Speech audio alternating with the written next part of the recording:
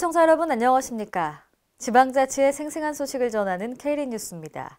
첫 소식입니다. 울산광역시는 오늘 울산과학기술진흥센터에서 지역 R&D 연구기관의 전문가로 구성된 울산시 과학기술진흥위원회를 개최했는데요. 이 자리에서 4차 산업혁명을 선도할 과학기술 혁신 로드맵을 제시했습니다. 문재인 정부의 과학기술 중심 지역 혁신 기본 방향에 맞춰 4차 산업혁명 대비 지역 과학기술이 나아가야 할 방향에 대해 심도 있는 토론과 시가 제안한 5개 안건을 심의했습니다.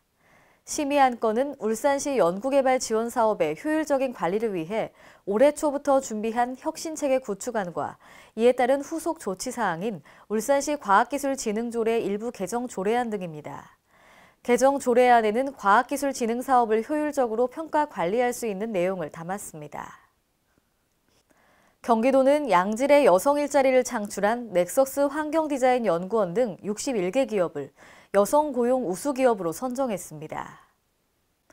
경기도는 오늘 라마다 프라자 수원 호텔에서 2017년 경기도 여성 고용 우수 기업 선정식을 열고 우수 기업에 대해 시상을 했습니다. 이번에 선정된 기업은 지난 한 해 동안 총 2,328명을 신규 채용했는데 이 가운데 절반 이상인 1,284명이 여성 근로자였습니다. 또 전체 직원 5,733명 중 여성 근로자가 2,833명을 차지해 채용 이후 근무 안정성도 높은 것으로 분석됐습니다. 특히 최우수 기업으로 선정된 넥서스 환경디자인 연구원과 GNT는 일자리 창출, 경력 유지 등 여성 인재 활용에서 각각 우수한 평가를 받았습니다. 대전시 자원봉사 지원센터는 오늘 서구 복수동 일대에서 주거 환경 및 마을 환경 조성과 마을 주민을 위한 급식 봉사 등 재능 봉사 활동을 펼쳤습니다. 4회째를 맞는 이번 마을 가꾸기 자원봉사 프로젝트는 대전시 자원봉사 지원센터와 복수동 주민자치센터의 협조를 받아 함께 진행됐습니다. 이날 제5기 대전시 대학생연합봉사단과 외국인 자원봉사단 등 총 14개 자원봉사단체 200여 명의 자원봉사자가 소외계층 및 마을 주민을 위해 다양한 봉사활동을 펼쳤습니다. 특히 기초생활수급자 및 장애인 가정 등 세 가구에는 도배와 장판, 샤시 교체, 주거 환경 개선은 물론 마을 주민을 위한 임의용 봉사와 어르신들을 위한 발 마사지 등도 진행됐습니다. 경상남도가 지난 30일 서부청사 중강당에서 제2차 경남 쌀산업진흥대책협의회를 개최했습니다.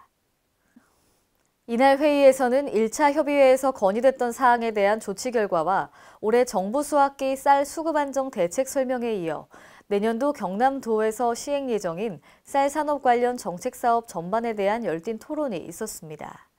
주요 의견으로는 쌀 생산 조정제에 도에서도 주도적 역할이 필요하며 특히 들녘 경영체, 밭작물 공동경영체 확대 등 개별 농가 단위가 아닌 규모화된 경영체별 참여가 필요하다는 의견이 제시됐습니다.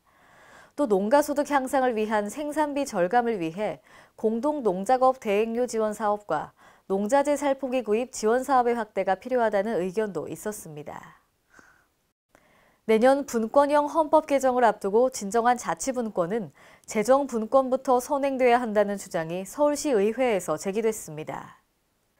서울시의회 김선갑 운영위원장은 지난 30일 프레스센터에서 열린 새 정부의 재정분권 강화를 위한 토론회에 참석해 재정분권의 중요성을 역설했습니다.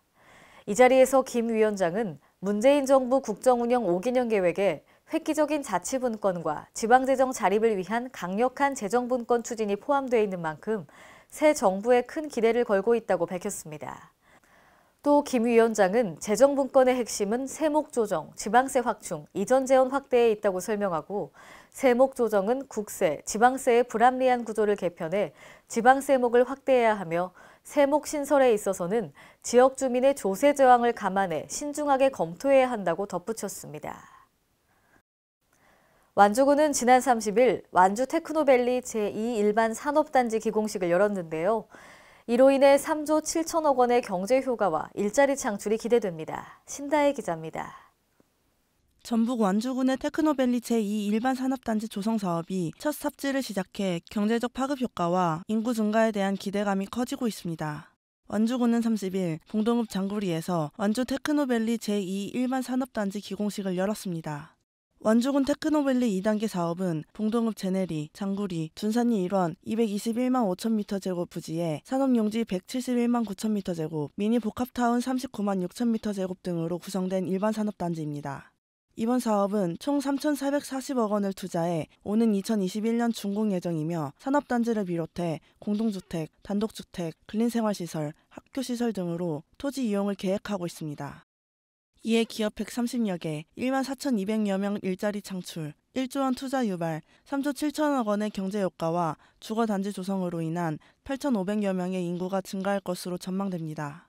이런 산업 단지를 근간으로 해서 우리 전라북도의 경제 1번지로 다시 우뚝 서고 또 15만 자족 도시를 만드는 중심축으로 삼아갈 계획입니다.